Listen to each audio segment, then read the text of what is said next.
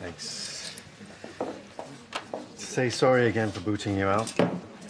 Let you off. Now I've got myself fixed up at Katie's anyway. Just behave yourself, please. Well, I'm here, aren't I?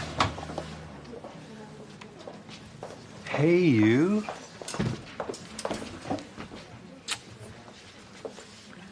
Jai, you made it. Yep. Right, uh, this afternoon's on me. What do you say we start with a brandy, hey, Rishi? Oh, sounds great. He's such a creep. That's the spirit. Two brandies, please, Diane. And uh, whatever everyone wants.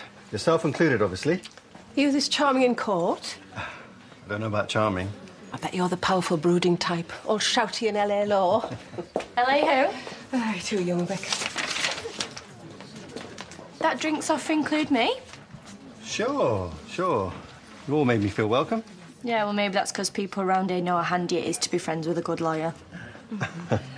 Fair point. Um, I know I'm punching above my weight with Priya, and I'm grateful for it. What is up with you now? Megan, last minute meeting. Perfect. To the fluke of Priya taking me on, and to our future home. Hey, I second that. Congratulations, darling. Yeah, nice one, Prey. Here, here. Doesn't make me feel left on the shelf at all. What I don't get is why people can't see through him. Do you know who's better he thinks he is than everyone else? Smug get. Behind you.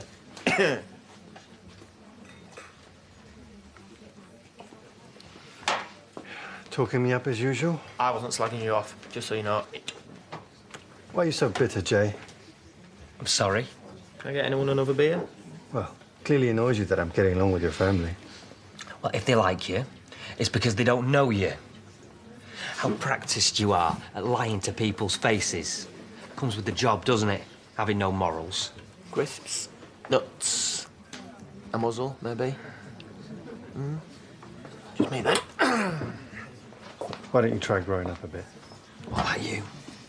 Dependable family man Rakesh. You're a joke. You want to be careful you don't overdo the sulking, or you might push away the rest of your family like you pushed away your son. Right in the hooters.